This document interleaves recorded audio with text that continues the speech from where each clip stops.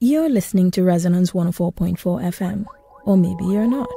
In which case, pay, pay attention. attention. This is London's finest community arts radio station. Well, look at this! Here's the guy here just in the nick of time. What does that make us? Big damn heroes, sir. Ain't we just? You, there. What is your profession? I'm a potter. And you, Arcadian, what is your profession? Sculptor, sir. Sculptor. And you? Blacksmith.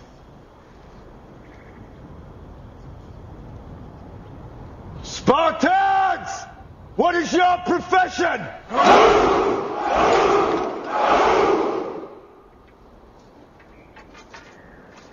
You see, old friend, I brought more soldiers than you did.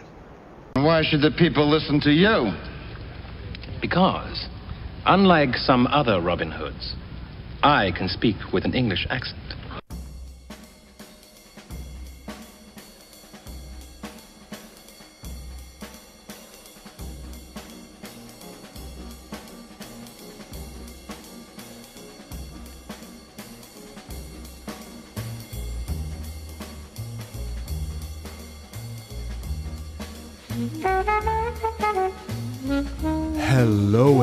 Welcome to Shoot the Breeze on Resonance 104.4 FM, a film and TV radio show where a handful of film enthusiasts shoot the breeze about all things film and television.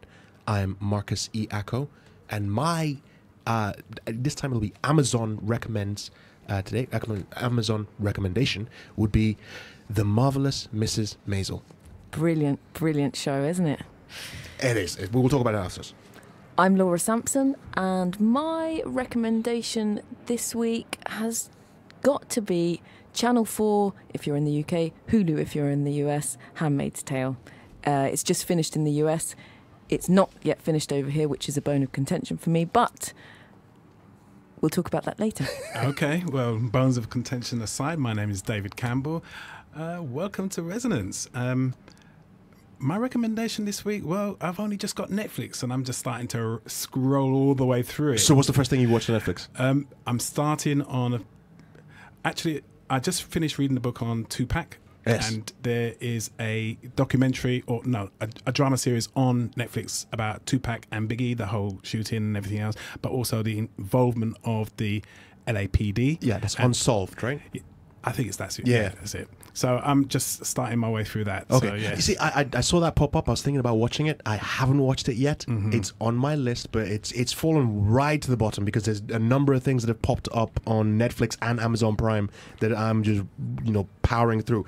Marvelous Miss Maisel, as I was talking about that, it's one that Laura was uh, championing a few weeks, well, months ago. Yeah, months. Uh, yeah, months. Yeah, and I've always seen it there, and it's always popped up, and something has always like pushed me away from it. And then last night we just decided to sit down and watch it, and we've breezed through about eight episodes in one night. Oh gosh, Uh, and It's, one of those shows, it really is. It's really good. It, When it- is the next series coming? I don't even know. I, I, I think isn't it isn't it out yet?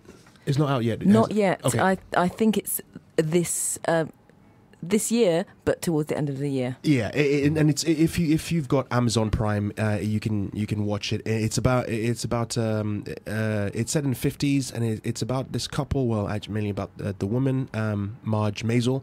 Um, or Midge, Ma- Midge. Midge, sorry, Midge Maisel, uh, and her. There's no spoiler; it's in the trailers. Her husband breaks up with her. Her husband is, is trying to be a stand-up comedian, but he's terrible, and he breaks up with her after a night that he bombs in in, in the uh, at a comedy uh, on a comedy show, and she goes up on stage just and just rants, and she's hilarious. Uh, it's it's a great show. Go and check it out. It's got a lot of uh, uh, big, a lot of uh, famous faces in there. Tony Shalhoub is in there. Kevin Pollak is in there. Different people just pop up now and again, and I'm just watching it. I'm like, really. And there's there's a Lenny Bruce character as well. Those of you that follow stand up comedy know Lenny Bruce. Uh, there's someone who plays Lenny Bruce and he sort of takes her under his wing and so on. But go and watch it. It's it's it's great. Laura, you were talking about Handmaid's Tale. I was, and I could talk about it for probably the next hour because I just love it so much. I've been, ever since I saw the last episode on Channel 4, which was episode 8 or 9 of 13, um, I've been I've been going through YouTube looking for clips for later episodes Fair enough. um, because I know that that Hulu has finished the series The over in season, America. yeah. Over uh, the second series, yeah, and. My American friends have all seen it. Basically, half the world has already seen it. Uh-huh. Yeah, because it- but, it- uh, uh, Channel Emmys- Four won't let me. Yeah, the see it. Emmys are uh, uh, being announced soon, right? Uh, um, because the, I know the list, the nominations came out, and a lot of people in the um, in uh, *Handmaid's Tale* have been nominated. So it's going, it's going to do big, just as just like the first season did. But it's still not showing in the UK, is it? Not the last few episodes. Sure. I mean, the there's stuff that happens in the last four episodes Uh-huh. that I think is cruel to make people in the UK wait, Wait. for. Thanks, Channel Four, Sure. Hulu, whoever whoever decided that we would be a month behind. I don't like you. You know, I, you know, I still haven't seen it. I still haven't seen *Handmaid's Tale*. I mean, I've seen it pop up by, and, and you know, a, a lot of a lot of great actors are in it. O-T Fagbenle is in it. Um, uh, uh, the the the lead, I can't remember her name, but she's Elisabeth in, Moss. Elisabeth Moss, yeah, from um, from uh, Mad Men and a whole bunch of other shows like that. Um, and, and a number of other character actors pop up here and there. Ann Dowd, um, Joseph Fiennes. Yes, Joseph. Fiennes is in it, Um, uh-huh. Yvonne Strahovski. I haven't seen her in anything else, but she plays this really cold um, piece of work Uh-huh. uh, as the wife, and she is really amazing as well. Yeah. And a couple of new characters are introduced in series two, who I think really, um, yeah, they really add to the emotional impact of it. Let's say. Sure, David, have you seen it? Have you seen *Handmaid's Tale*? No, not at all. I Good, so I'm not alone in this that I haven't seen *Handmaid's Tale*. It's very difficult not to do spoilers, but I think it's quite a difficult. They all die. Um, it's quite a difficult show to binge because it, it is so intense all Yeah. the time. Um, Marvelous Mrs. Maisel. I did binge the whole thing in one night. You and you can because it, it while it's it, it, has it, it doesn't it doesn't have really a strong gut punch that would make you feel depressed. It's it's a very cheerful ty- type of show, uh, unlike *Handmaid's Tale*, which is effectively just full on. Um, it, it's gloom and because it, it, it, does- what, tell us what the storyline is. I, I have an idea of what it is, but I don't want to butcher it. What is it? well, it? it's a a p- plausible, maybe less plausible, near future world um, where America has been taken over by a totalitarian regime and is now called Gilead, Mm-hmm. and that came about to partially to solve a problem of uh, women's fertility, which which plummeted Yes. and what what happens is that the men go into complete power and the women are split up into the roles that they play in the society Sure. uh, a bit like how you might imagine um, Mormons to be or something so there are wives Don't just pick a particular. You, you just drop that in. It's like yeah, you just like Mormons and a lot of. If we have any more, well, actually, I was going to say if we have any Mormon Yeah, listeners, let's- but we let's don't mo- really. move on. We're Sorry. not, Um, we're not, gonna- we're sorry, gonna have any uh, Mormon I, um, listeners now, are we? an, au- But- an authoritarian regime Fair where where um, where women's roles are very defined Mm-hmm. and where women are Subjugated. oppressed. Sure. Uh, they're not allowed to read. They're not allowed to vote. They're not allowed to work, um, except for these particular roles as wife, as handmaid, which is a kind of um, surrogate, Uh-huh. um, kind of surrogate slave to rich families. So it's a very bleak depiction of uh, uh, it's sort of a post not post-apocalyptic, but it's a, but it's a bleak um, view of of the future in America, and it's and, and that's, that's what you're saying. It's difficult to binge watch something like that because you just you'll end up just shutting the shades and just not going out. Well, yes, especially since it's contrasted really starkly with um, Canada. Um, Yeah, which- which yeah. is still going on in uh, in the In ordinary, non-totalitarian Sure. way. That makes sense. Uh, that makes sense. But at the same time, it's an utterly beautifully designed show. You just kind of can't take your eyes off it. The costumes are amazing, um, the soundtrack's amazing. The way um, you know the way that people move about the world in this really graceful, slightly um, I don't know, nightmarish sort of a way Yeah. is really very compelling. You, okay. You know what I'm going to do? Uh, Yeah. while I'm watching Wonderful Miss uh, Mrs. Uh, Maisel, I'm just I'm because that is upbeat and pep and peppy. I'm going to sort of Alternate. yeah. So I'll do one episode and I'll go and watch one episode of uh, of uh, Handmaid's Tale, and then back back to Wonderful Miss Maisel and Marvelous Miss Maisel, and then back to it. Just that way it cheers me up. Right? You do need something, um, something light to counterbalance it, most definitely. I, I was gonna say either that or I could just take some Coke, but now I'm not. I'm not recommending that at all. So that You're was talking just about a- Coca Cola, aren't you? Yeah, of course, Of Coca course. Cola. All right. Even now, I could get in trouble. yes. It's like caffeine is like, no, it's Coke Zero. You're listening to Shoot the Breeze on Resonance 104.4 FM. I'm Marcus E. Ako. I'm Laura Sampson. I'm David Campbell. And if you haven't noticed, we uh, don't have a guest today, but that's not a problem. This is fine. It's the threesome.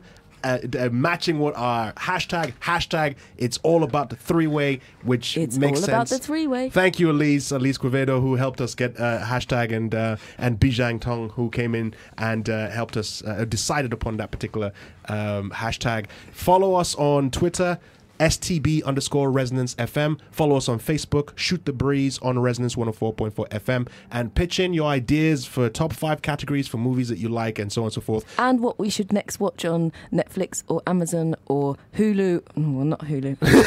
um, Channel 4, no, hold on. ITV. We have guests in the we have guests in the US. We have guests out. Well, not guests. We have uh, v- uh, listeners outside of the UK who and some could people get. might have VPNs and be Yeah. able to get Yeah. Hulu. Again, don't suggest uh, illegal activity because It's not illegal. Oh, okay, ju- I'm just saying it just sounded really illegal. So don't No, go, it's don't not. go there. It's We- not. Yeah, the last thing we want is to get kicked off the air. This is true. Uh, yeah, yeah, absolutely. So uh, go, go on, uh, send us your recommendations, uh, and we can talk about it on the show. Just as we'll be talking about our top five. Um, uh, what is our top five favorites? Which this uh, th- today is going to be. Uh, swords and sandals. So if you want to send us any of your your suggestions for top five favorite uh, films and TV shows that are sword and sandal related, send that send them in, and we can uh, talk about them on air. Uh, apologies for the air, you know, the, the constant flight sound outside the window. It's it, again, the UK are going through, um, uh, you know, uh, severe heat. Um, what what do you call it? Is it Heat wave. Heat wave. Thank you. Uh, we're going through a heat wave, uh, and so windows are open. Um, I like the heat. I don't, you know, people are complaining about the heat and whatnot, but I don't care. I like the heat, but we have to leave the window open. Otherwise, these two that are sitting next to me will fry, and the threesome will just Hang become on, a hang on, one. hang on. Uh, I'm, I'm not bothered about the heat. It's just I want to be able to breathe. Wuss. What, need need some air coming through. You know. You don't need no. You, you don't need to breathe. It's fine. Yeah, thank you. Yeah. so before we get before we carry on with that, let's go into our next segment, which is film and TV news.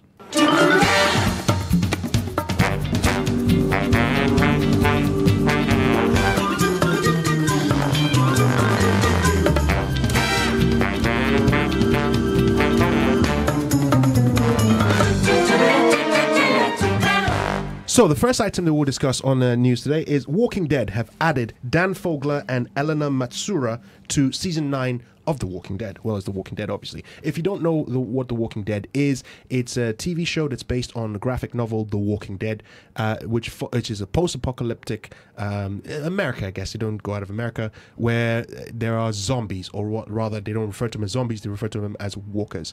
And we follow a group of survivors. One of them led. Well, the the leader is uh, Rick Grimes, played by Andrew Lincoln, uh, yeah. Britain's own Andrew Lincoln.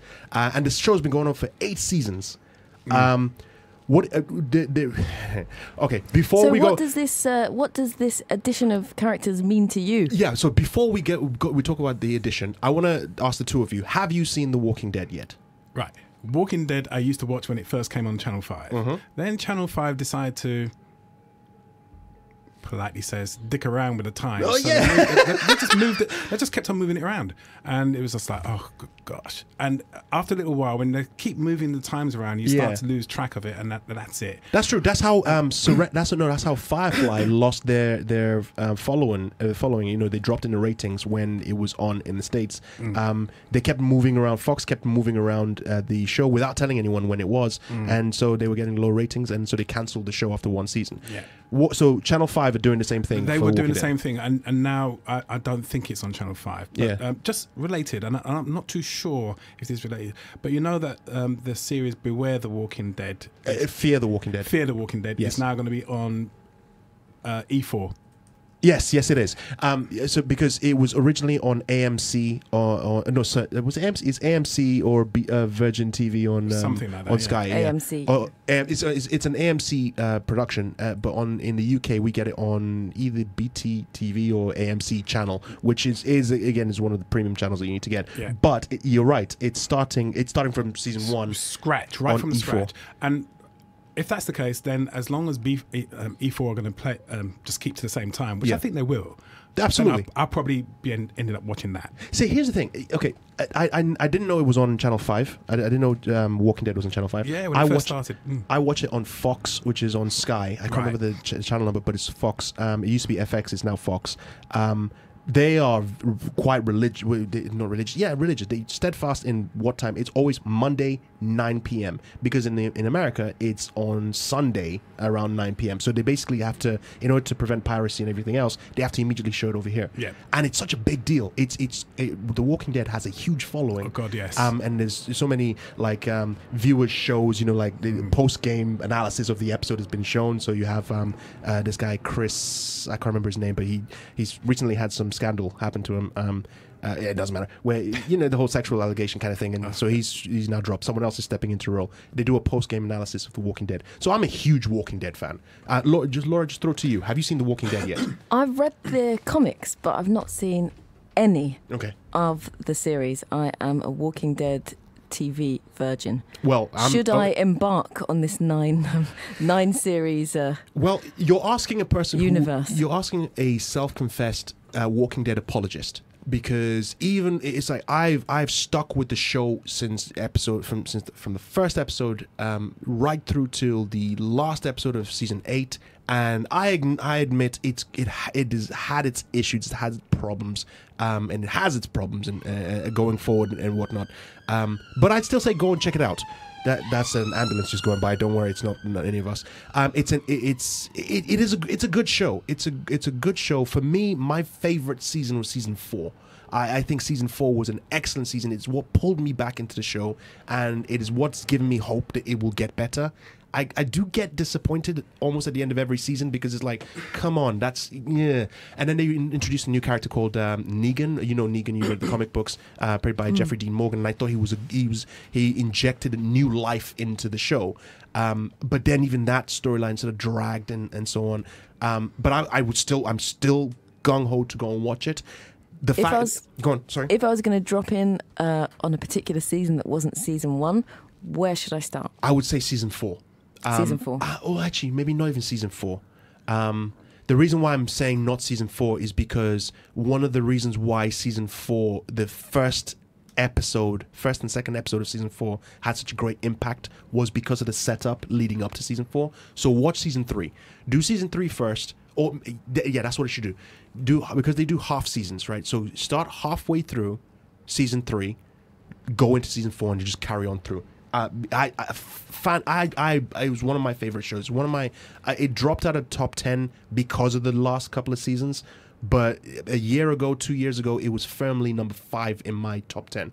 Um, anyway, the story today is about Dan Fogler. Uh, you, those of you who've watched um, uh, Fantastic Beasts and Where to Find Them, he's one of the actors in that. Uh, and Eleanor Matsura. Those of you who follow Into the Badlands, which is on Amazon Prime, she's in it. She's a fantastic, fantastic actress. You, she's in the Spooks movie, um, uh, and, and she, she's she's anyway. There's a lot of love f- coming from this side of the studio uh, for Eleanor Matsura. She, uh, the fact that she's in it makes me want to go back and watch it. I was gonna go watch it anyway, but now I'm gonna watch it with extra vigor. Especially the fact that Andrew Lincoln is supposedly. I won't say anything else about for those people who haven't watched it. Carry on watching it, and there's, that news might not have broken. So when's the next series coming? Uh, it, it should be probably end of this year.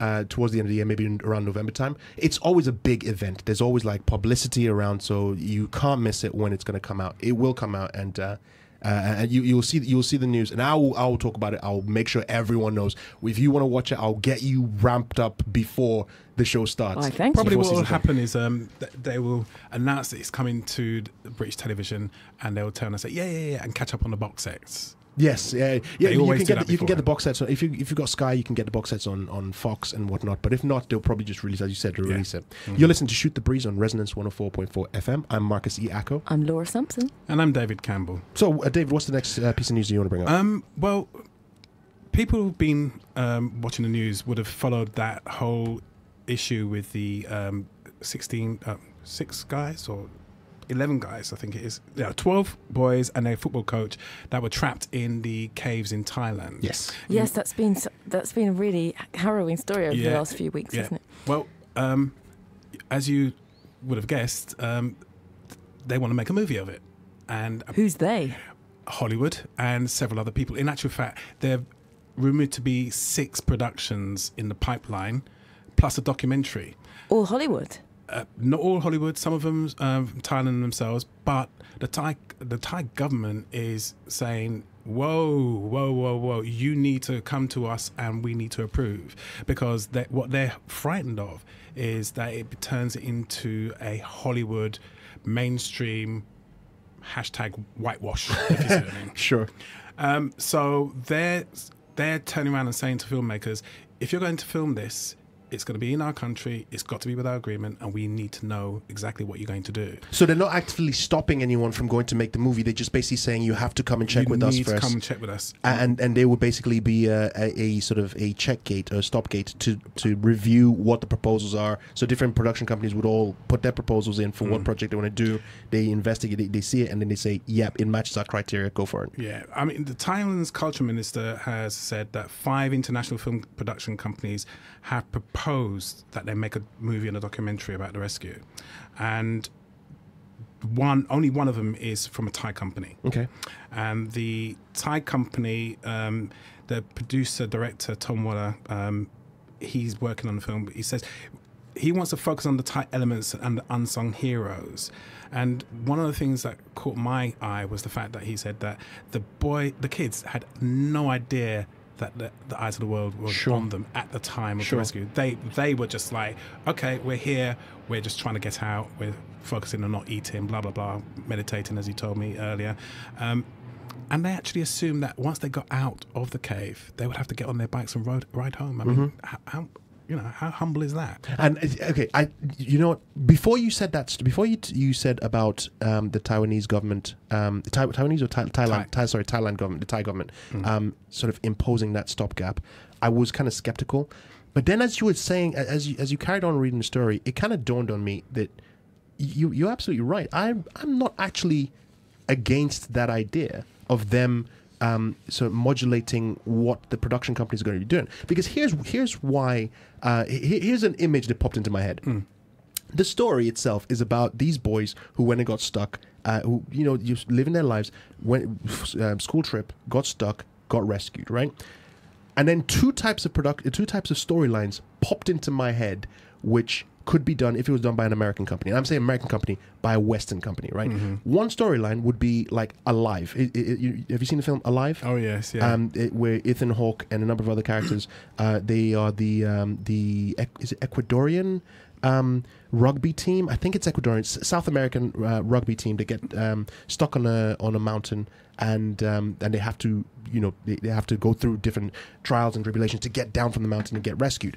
And it's played by you know as you said whitewashing, right? So the first thing that popped into my head was first storyline was you're going to have people like Justin Bieber playing one of the people stuck in the thing, right? Mm. Maybe not Justin Bieber per se, But but but, yeah, kind of- yeah. yeah, it's going to be a blonde, blue-eyed uh, character or actor who goes and does that. We talked about uh, Scarlett Johansson having that kind of issue, you know, Yeah, exactly, you know, yes. and from Robin Tugg. So there was that. There's that aspect to it. The second storyline popped into my head, which may not even necessarily be whitewashing of the characters that go in there and do that. It's actually something that's much more insidious. Is that the story would not be of the perspective of the kids that were trapped in there? It would be the uh, perspective of um, because it, if, if I remember correctly, there were people flying in from different parts of the world right. going into rescue. Mhm. It would be the fact that you could have a fictional American character flying in to go and rescue these boys. And it's all about him self-discovery, you know, d- d- self-development and so on. Yeah. To go and find an example. Um, oh, who have been trapped because of Yes. some um, some problem with the infrastructure of even- the even so- even- and this is one of the things. so. Yeah, and this is one of the things the Thai government was definitely keen to portray. the the accuracy of what goes on in Thailand. Okay, they haven't got the, all the equipment, etc., etc., etc., and international people came in and helped them out, but doesn't mean that they couldn't have done it themselves. And that's the thing. The main focus of that storyline would be the fact that it took an American to come in and rescue them. Mhm. Um, yeah, U U five seven one, I think, is is the film that was in uh, the mid nineties. The uh, the um, it, was it was a, it was a film that came out with Jon Bon Jovi, uh, uh, Matthew McConaughey, etc. I can't remember the exact actors in it, but it, this was a, a retelling of uh, a, you know the uh, a war story of the Enigma machine being discovered, and the Enigma machine. Uh, this was a coding machine back in, in World War II, World II, yeah. and that movie basically said American navals um, uh, naval officers found the Enigma machine and broke the code, which when we know that that's not the case. So that's the same kind of thing that could effect- effectively happen, where it'll be a fictional story about this character going and do that. Mm. Exactly. Uh, Last King of Scotland is the same kind of thing, where you had James McAvoy, a fictional character who went to Uganda to meet Idi Amin, and you, in, and so on. So it's it. So I now want. It's like I'm not totally against that gate check. Mm. It just it just. So it's not stop. a situation where the government have the rights and are selling them or no, anything. no. I think I think But they just need to They just wanna protect they the before- story, want yeah. they they want input basically, and I think um, any production company would be wise to make sure they work in co- uh, in conjunction with the Thai government because Yeah. the Thai government could put blocks in place. And if they did that, then it would be filmed outside the country, and everyone would know Sure. that it's just not authentic. Of course. Mm. You know what? Uh, you know what? If if any of you who listen out there disagree with what I've been saying on what uh, David's saying, what Laura's saying, feel free to message us. Uh, send us a message on Twitter uh, at stb underscore resonance fm or on Facebook. Shoot the breeze on resonance 104.4 FM. Let us know what you think about this particular issue. This show is re- uh, you're listening to Shoot the Breeze on resonance 104.4 FM. I'm Marcus E. Ako. I'm Laura Sampson. I'm David Campbell. Okay, so we don't have a guest, but we're going to do a spotlight, uh, which is going to be a game that we're going to be playing, uh, and we've announced it. But we'll talk about more about the game after we do the spotlight theme.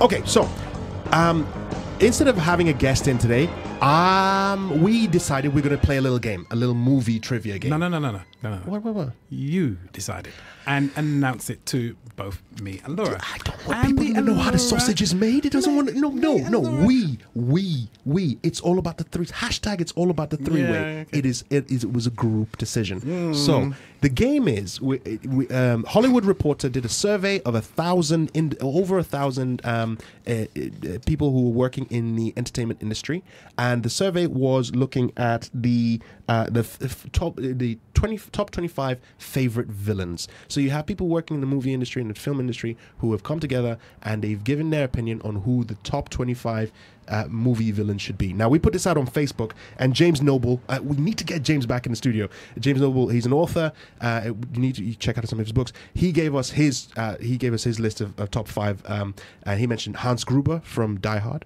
That's uh, Alan Rickman. Uh, Blofeld or and or Goldfinger might get a mention. Blofeld. Yeah, he said the Joker, Dark Knight version. So he's specific, saying you know Heath Ledger uh, from Christopher Nolan's The Dark Knight, Darth Vader. eh, Everyone's throwing in Darth Vader in there from obviously Star Wars movies. Um, Hannibal Lecter from Yeah. uh, for, you, you, yeah, Yeah. yeah, okay. Silence of the Lambs, from yeah. Silence of the Lambs and Hannibal and etc. Uh, and then he says maybe Anton Chigurh. Anton Chigurh is uh, Javier Bardem from No Country for Old Men, uh, the uh, Coen Brothers movie. Oh, yeah. Um, and then his last one is John Doe, which is Kevin Spacey in Seven, which is the Dave Fincher movie. Okay, so very, very great. uh, You know, good picks, James. Well done for that list. Um, I excused myself from this, um, Oh, and I uh, I did. Um, I did. Uh, so I'm going to be the judge. I've got my list here, and I've you may asked, need to jump in with uh, with a few more that we may have missed. No, no, no. I, here's what here's here's what we'll do because I, I asked I asked before the show began. I asked Laura and I asked David to pick five to, to come up with five. And what we're going to do is they'll we'll go one one back to back to back back to back. Get their list first, and when they mention each person, I will say what number in the list it occurs. Okay. At the end of the f- you know the five rounds, we're going to see who got the highest in that list, and that person wins the golden it's all about the three way um, uh, price. Hashtag it's all about the three way price. Okay, so ladies first, Laura. Don't do, put. Oh, it was that's, that's okay. You held your phone. I thought you were you were research. No research. No, Don't no. do any research. No, no, no. What is your pick? Pick. Who's your first shot? The first one I wrote down was um, Oliver Reed's uh, Bill Sikes from Oliver Twist, who scared me when I was from the age of six or seven and still does. That's a good pick. That's a good pick. Unfortunately, not in the top twenty-five. Ah. David. First one that came to mind, and I struggled to remember the film, but it, it's already been mentioned. Hannibal Lecter. Hannibal Lecter. Let's see if Silence of the Hannibal Lamb. Lecter is on there. Hannibal Lecter is number two. Hurrah. There you go. Well done, I'm David. surprised. All right. So, Laura, that's 1 0 to you. This is penalty shootout. We just had the World Cup finish. Are you going to come back strong? So, um, so you can't so mention I Hannibal Lecter. That's crossed off the list. Oh, oh, I had him. Oh, crossed off the list. Um, I also had uh, John Doe and the Joker, You which I can't no, have you- either, can hold, I? Hold on. You can't. ha- No, what do you mean you can't have either? The game. Well, James already picked them. He's not in the penalty kick. He, he- he's he's the spectator who's just taken a shot into the goal and he's been ushered off the pitch. The match is against yourself and David, so he hasn't mentioned John Doe or the Joker, so you can pick one of those two. John Doe. You're going John Doe. John Doe is not on the list, unfortunately. That, No that I am way. shocked No by that. way. Yeah, I am shocked by that. So that's uh, two. That's a, a nil to you, uh, Oh. David. Second shot. Um, oh, God. Don't steal her pick. No, no, no. I was going to say, eh, well, um, I've got my list here, so you know. Okay, yeah, go for it. Alien from Alien. Alien from Alien. Oh, that's well, that's a good call. Nope, not in the top twenty-five. Yeah, Uh, all right, so those two choices gone. Uh, Laura, what's your third pick? I can't remember his name, Just- but Describe it, and I'll go for it. Leonardo DiCaprio's character in Django Unchained. Oh, uh, oh, you. Uh, Oh, that is a good one. he, he- Oh, I was thinking that about. was he was evil. I was thinking about him the other day. fact, I have to say, that was the point. That character was where I thought, oh my god, this man can act. Yes. Because up until then, it was just like, ugh.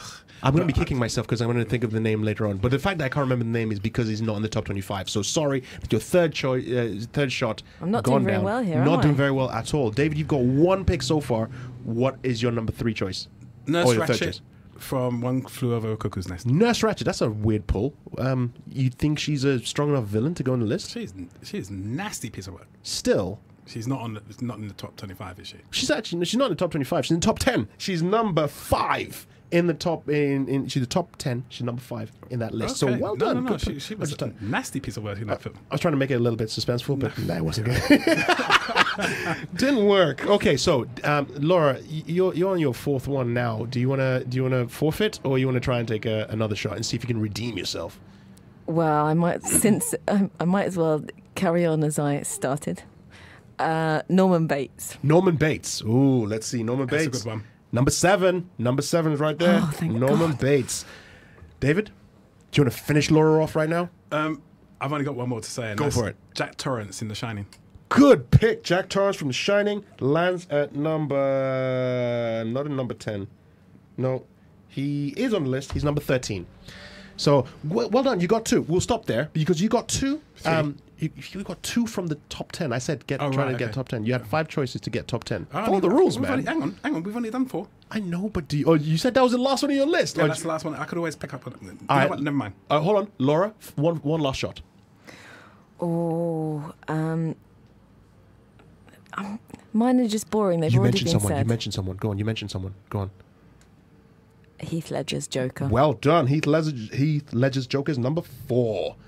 All right, David, you wanted to go for the last one. What is it? Well, That was he, that was that Heath Ledger's. But it's already been called, But it's so- been called, so I can't say it. So you're gonna forfeit? No, no, no. I got three. Okay. In that particular competition, David, you won because you had number two, you had number two, and you had number so you had two in the top ten, while Laura had one in the top ten. So unfortunately, Laura, you need to brush up on your skills. I, I thought I trained you better than this. Well, now I've I was now I've you. started now I've started thinking about Mr. Kurtz and I mean, but I don't know. I've I should have thought of um, what's it called? Um, Khan. You know. Khan! Yes. From but Rafa now Khan. now it, it's all not on the over. It's all over. It's all tell over. Us, tell Here's us what the list. top ten is. From top 25 going all the way to one, uh, Agent Smith, 25. Number 24, Wiley Coyote. Oh. Number 23, Wile E. Scar. Coyote. Scar Agent from Smith. Lion King. Agent Smith Yeah. from Matrix, Mm. yes. Yeah. 22, Tony Montana from Scarface. Uh, 21, Bruce or the Shark from Jaws. 20, Terminator from number from Terminator, the first one. Uh, number 19, Alex DeLarge from uh, Clockwork Orange, Michael McDowell.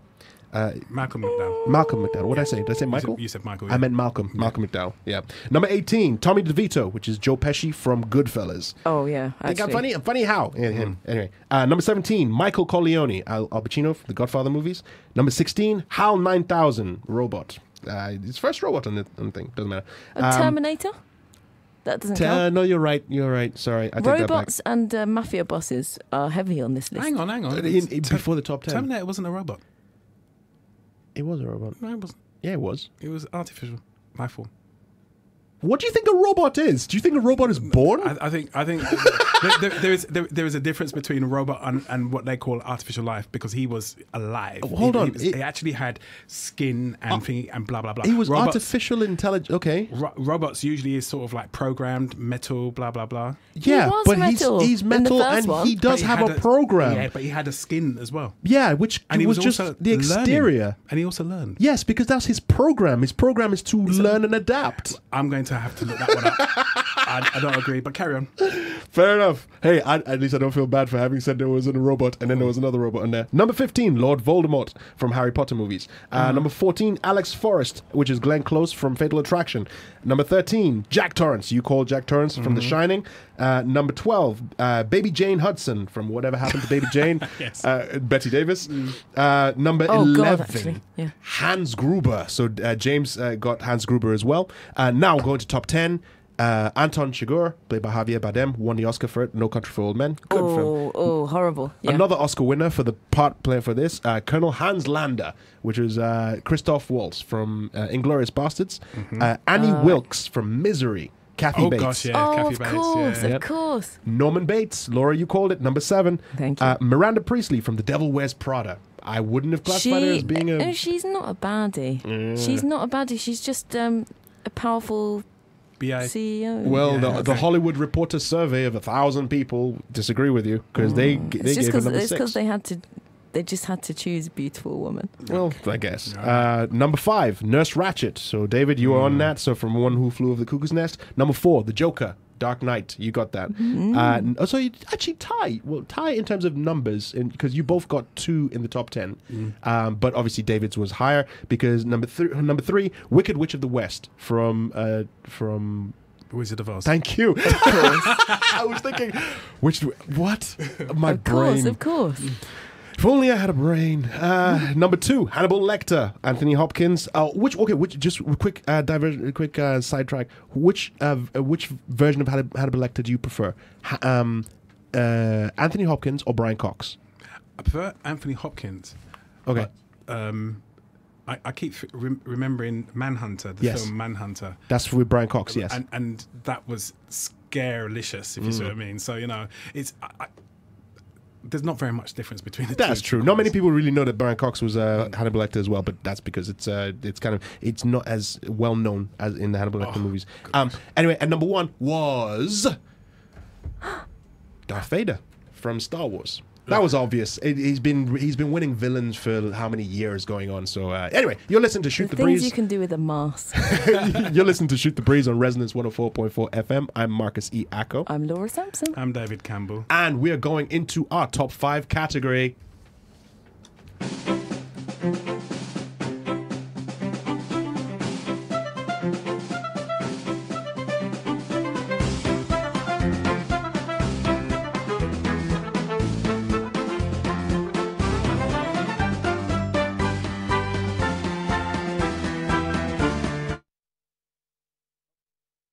Thanks, David. Yeah, this sorry. is just fantastic. it's like, okay, if you are listening to the show for the first time, um, there is a running gag that basically every time David steps behind the controls, it all goes to hell.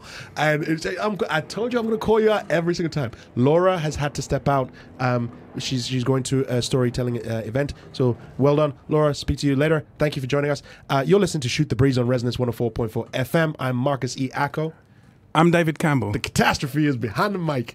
Uh, so we're now in the top five favorites segment, and our, as I mentioned earlier, top five favorites uh, category this week is favorite swords and sandals TV shows or movies. So we don't have a guest; it's just going to be myself and David going back to back. You're our top five. David, would you like to give us your number five and your number four? Okay. Number five is a sword and sandals film, an epic historical drama, and it's called El Cid. It's from 1961, and it romanticizes the life of Christian Castellan, the knight Don Rodrigo Diaz de Vivar, who was called El Cid from the Arabic Asidi. Whitewashing as well, right? Because El Cid wasn't exactly Arabic; it wasn't played by an uh, Arabian actor. No, it, it, it wasn't. It It stars. was um, played by the, the the very Mediterranean Charlton Heston. uh, but it had it had Sophia Loren. Sure. well, you're getting closer. She's well, closer. She's Yeah, Italian. Yeah, exactly. So, yeah, fair enough. Okay, so El Cid is your number five. What's your number four? Come on. I, I mean, this has to get in there. Anyone who is a fan of Ray Harryhausen will know this film. Clash of the Titans, 1981. I'm not talking about the remake. I'm talking about. I'm, I'm, talking about Ray Harryhausen, Clash of the Titan, wickedness. I'm glad you clarified. Hmm. Maggie Smith. Uh, I can't remember his name. Maggie Smith, Laurence Olivier, Harry Hamlin, Harry Ju- Hamlin, Judi yes. Bowker, uh, Burgess Meredith. There was loads. And Yes. it's just, oh, excellent. Uh, You know, as a kid, you know, Yeah. if, if any kid watching that film will just be entranced by that film. Absolutely. I, it's like um, I was reading a bit of trivia recently about um, the remake, um, and the, in in the original, there's an owl that is one That's of the right, yeah. prizes that he gets, and the owl guides him as they go along Mm. on his quest, and him being uh, Perseus. That's it, yeah. Yeah, Perseus. Yeah, so uh, Perseus, uh, when played by Harry Hamlin, is guided by this uh, this owl. But the trivia I read was that um, uh, Sam Worthington, who took over that role in the remake, did not like the use of the owl, so they had to they had to do a. They had to do rewrites and rewrote the owl out of it, but they kept the owl in there because it's just a piece of like, um, like an Easter egg, and he just he finds it in, in there and he throws it aside and whatnot, and that kind of annoyed me even more there were a whole bunch of other stories about how the. It's like I, I watched the film and I watched the, the director's cut, not the director's cut, the DVD version where you saw loads of deleted scenes. If you watch deleted scenes, there is it, it, com- the re, they left all the bits that were cut out make a completely new story. Um, and I'm not going to ruin the story for you; it's already been ruined. But if you were to watch the first movie, or watch the movie itself, then watch the deleted scenes, you can make up an entirely new storyline from those deleted scenes which I thought was much better. Because I was watching the movie and I was thinking that doesn't make any sense. Why would Zeus, played by Liam Neeson, do that? And why would and, and then deleted scenes explained all of it? And I'm like, uh, ridiculous. But yeah, they, obviously it made enough money. They made a second one. but uh, yeah, so that's your number four. Uh, so your number one, uh, five, Five was uh. El Cid. Number four was uh, Clash of the Titans. Yeah. My number five, I've got a joint number five, two TV shows. One is Spartacus, the TV show, ran from 2010 to 2013. Uh, it had uh, a lot of faces that you see regularly in TV and in movies these days. Uh, Andy Whitfield, unfortunately, who played Scott, um, uh, Spartacus, he died, uh, I think, in after the second season, and so they had someone else come in to replace him. But other char- other actors in there: Manu Bennett, uh, Lucy Lawless, Jai Courtney, John Hannah, uh, Peter Mensah, all these faces you'll recognize them when you watch TV from Spartacus, the TV show. Uh, that's, that's one of my number fives. But I'm pairing it up with Rome, which is another uh, um, TV show, which was which again famous faces. Um, Kevin McKidd, Ray Stevenson, most uh, famously from the, th- that show. Um, both set in Rome around the gladiatorial times. Great shows. If you get the chance, go and watch both of them. My number four, I figured I'd move away from what we'll be considering as sword, the traditional sword and sandals, and I went with Zatoichi which is uh, is it's it's T- Takeshi uh, Kitano. Takeshi beat Kitano, uh, 2003 movie about a blind swordsman. Um, it's it's it's excellent. It's colorful. The choreography is fantastic, and there's a brilliant uh, tap dancing number at the very end. I've never seen that film. You should check it out. It's called Zatoichi. I, I recommend it. it. And I know a lot of people don't like watching uh, movies with subtitles, but you, you you don't even have to worry about the talking. Just watch the ballet of swords play and of sword play and and tap dancing at the end uh, because it's fantastic. Anyway, that's my number five, uh, Spartacus and Rome, and number uh, four is Zatoichi. You're listening to Shoot the Breeze on Resonance 104.4 FM. I'm Marcus E. Ako. I'm David Campbell. and we're in the top five favorites category. And our category this uh, uh, our category this week is swords and sandals, movies or TV shows. David, what's your number three and what's your number two? Right. My number three is a um, is a film that a lot of people will have heard of. It's called 300, Fair enough. and um, it hmm, it's the the film is actually based on a comic that was done by called 300 by Frank Frank, Miller, Miller, yes. and Lynn Varley. Now that itself was based on a film called The 300 Spartans. Yes. That was done, in, it, made in 1962, and that was depicted the Battle of Thermon, oh, Thermopylae. Thermopylae? Therm- Thermopylae. Thank you very much. I was wondering, what were you saying? Thermopylae. No, it's okay. I, I get that stuck in my throat as well. Um, and it revolves around good King Leonidas, who's um, played by Gerald Butler, who leads 300 uh, Spartans into battle against the Persian god King Xerxes, who's played by Rodrigo Santoro. Um, and his army of 300,000 Persian soldiers. Now, it's it's like um, 300 against 300,000. yes. Um, and there's a whole heap of uh, backstory. There's a lot of politics, betrayal, and everything else going on. Strong women, strong wife, kids. You need to watch it. But I really like the version that you saw in 1998 because they used a lot of CGI technology Okay. uh, to make everyone look their best So you mean the uh, 300 Spartans? the 300 Spartans, Okay. every single one of them had a six to eight pack. Oh, nice. Every single one of them had a six or eight pack, and that was all CGI. Wait, so hold on. You're t- okay. You're talking about okay. You because you just said that uh, you like the 1998 version. No, sorry, I like the 2006 version. Ah, sorry. gotcha. Okay, that The makes sense. 1998 version was the co- comic. Yes. but it was based on the comic, so therefore. Ah, gotcha, gotcha. And in the comic, they all had six pack. So in film, they all had six pack. Hold on. Do you think it was CGI? The, the six pack? It, was definitely. you don't think they worked out to get those abs? No. What makes you say that? Because it was reported at the time. Hey, I remember. Okay, I remember when that came out, when that movie came out, right? Mm-hmm. And I remember um, Men's Health magazine had um, um, Gerard Butler on it, had Michael Fassbender on it as well, and they were talking about their the you know the routine, the workout routine that they had to do, the nutrition that they had to go on to get those six Of packs. Of course. and yeah, so, but- and that's all CGI. but but most of them, you know, they had 300 of them, and virtually they had sort like it's Sure, really, fair really enough. strap. They use CGI. They Okay. use sort of, some kind of camera trickery. you know, it makes me feel better now about my own six pack, so which is in the fridge. So, Same here. so what's your number two? Number two is a joint actually. Um, Gladiator. Uh, 2000 from 2000 starring Uh, Russell Crowe. yeah, the Ridley, Ridley, Scott. That's yeah. it. Yep. And um, and Ben Hur from 1959. I mean, they're near enough the same kind of thing, to be quite honest. Ben Hur was Charlton Heston, right? That's Charlton Heston So again. you got two Charlton Hestons in yours. yeah, he, he sneaked in again. He- Yeah. neither of those films has he got a gun, but moving Yeah, to one side. Um, yeah, I mean, the Gladiator one, I, I really remember because there was that scene in the central ring where Yes. he's fighting against all this, and the lions keep popping out Uh-huh. left, right, and center.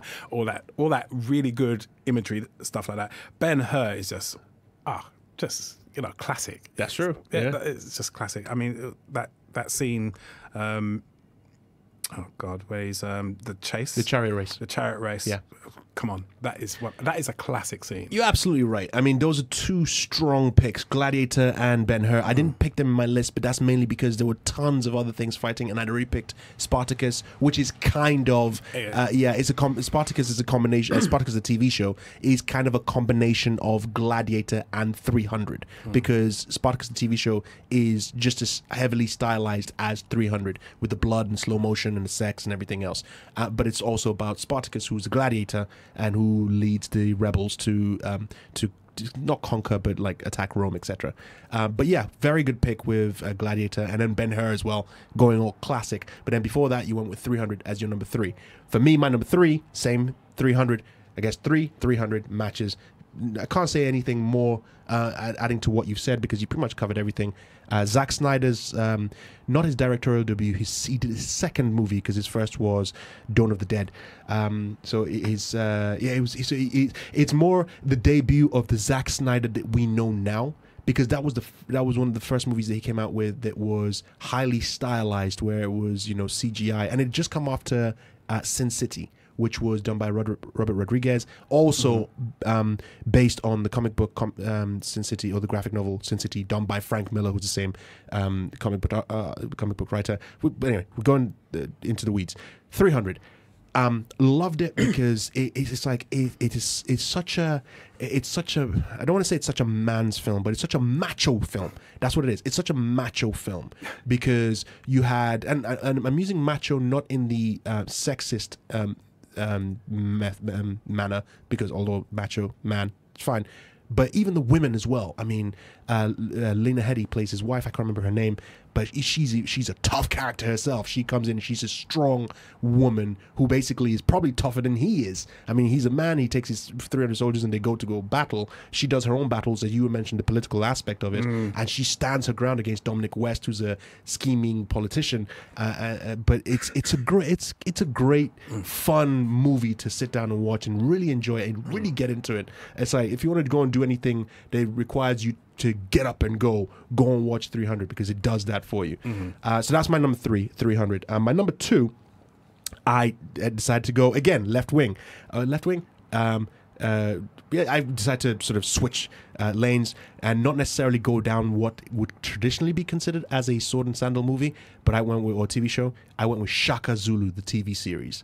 Now, this is a TV series which was done in 1986. You have Edward Fox, uh, sorry, Edward Fox, um, Christopher Lee, Robert Powell, uh, and it, it's it's focusing on uh, the British invasion of Africa um, and the resistance that they f- they met when they encountered this warrior king called Shaka Zulu.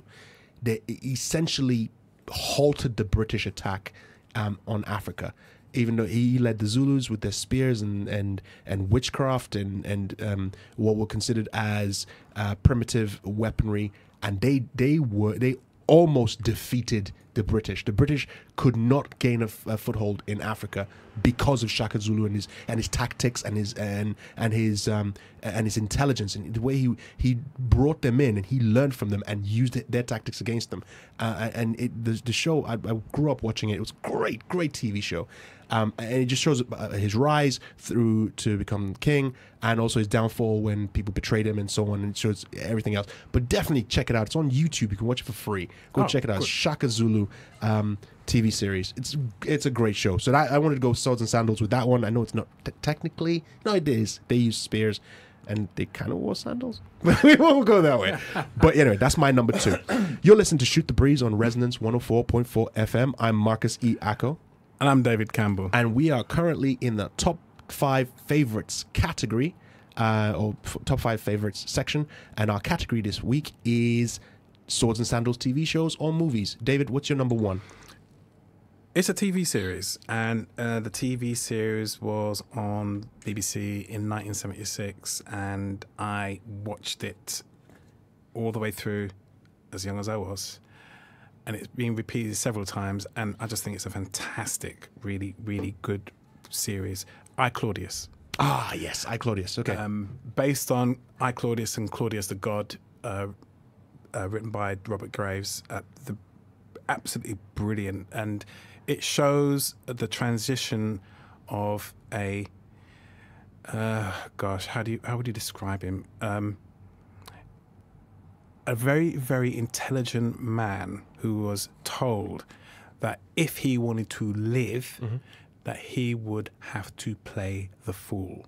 Okay. And he became emperor after all that were in front of him died off, including Caligula, who was one of the most notorious, notorious of all the emperors. Mhm. And some of the things that he got up to is just like you, you don't want to know, including his horse and blah blah blah blah blah. what?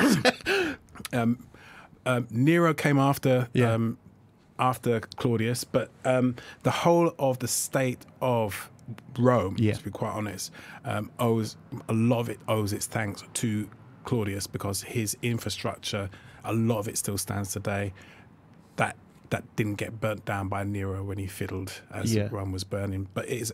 The, it's just just got who's who. It's just got Derek Jacobi as Claudius, Siân Phillips, Brian Blessed, Blessed, Patrick Stewart, John Reese David, John Hurt, Patricia Quinn, Ian It's Ogilvy. real so who's who of, uh, British talent back in the 70s, And right? Yeah. It's just massive. I mean, the first place I actually saw Patrick Stewart was in I, Claudius. Okay. And I recognised him when he then took on the role as Captain Picard Yeah. as a result of that. And, you know, the background training from I Claudius and all his theatre work suited him well for that, to be quite honest. But it's a great show. I know it sounds long and boring and slow. it No, it's does. not. I mean, I must admit, they cut out some of the. After, after reading the books, I realised they cut out some of the most funniest scenes in the in Yeah. the books to do the show, but it is just well worth it. It is so entertaining. That's a good. It's a good pick. Uh, It's Mm. uh, the the fact that when hearing you talk about it, I've heard about I Claudius. I just I've never got myself around to watching it. Again, my list is long, and I still want to check it out. But definitely, I will add that to the list. Uh, I Claudius. My number one, Game of Thrones. Uh, Game of Thrones. There's. I don't need to explain it. Uh, If you haven't heard of Game of Thrones, where are you living? Um, it, it's it's coming up to his last season. Uh, I think is Yeah, season eight is the last season. I yes. heard. Yes. Yeah. Um, there's a there's a countdown on my on my on my phone somewhere that is actually counting down to uh, the premiere of the final season of Game of Thrones. So that's my number one pick for Sword and Sandals uh, TV show. You're listening to Shoot the Breeze on Resonance 104.4 FM. I'm Marcus E. Ako. And I'm David Campbell. I want to thank you for listening. Tune in next week uh, for our probably final show of the season because we're shutting down uh, for, for the season after that. But uh, we'll feed you more information on our Facebook page, which is Shoot the Breeze on Resonance 104.4 FM, or our Twitter page, which is at STB underscore Resonance FM. Thank you very much for listening. And thank you very much for listening from David Campbell as well. Good night.